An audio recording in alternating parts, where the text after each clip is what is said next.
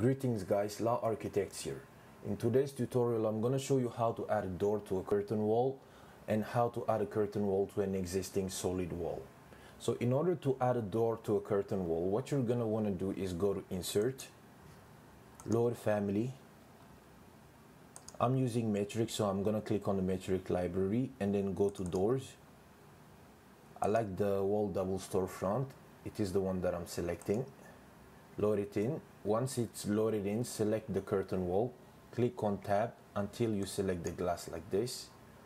Unpin it. And then go to properties. Select it. Select the door that you've just loaded in.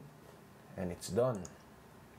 And then go to the 3d view just to make sure that it's uh, placed where you wanted it to be.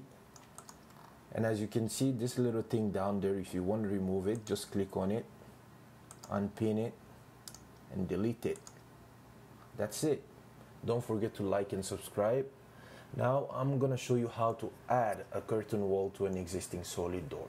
So in order to do that just go to architecture wall and select whichever uh, curtain wall type you want. I like the storefront one.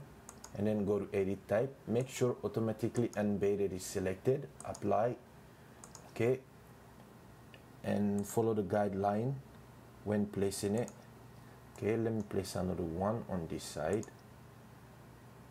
Okay let's hope uh, as you can see okay. Now select it. You can select it and move it however way you want. You can make it shorter or longer. And if you want to move it freely just click uh, on the front or whichever uh, location that it is at and start moving it. Once that's done you can move it this way that way up or down. That's it. Don't forget to like and subscribe.